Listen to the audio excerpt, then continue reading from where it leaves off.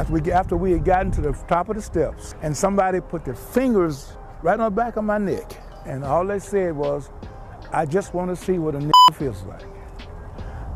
I've never known who it was.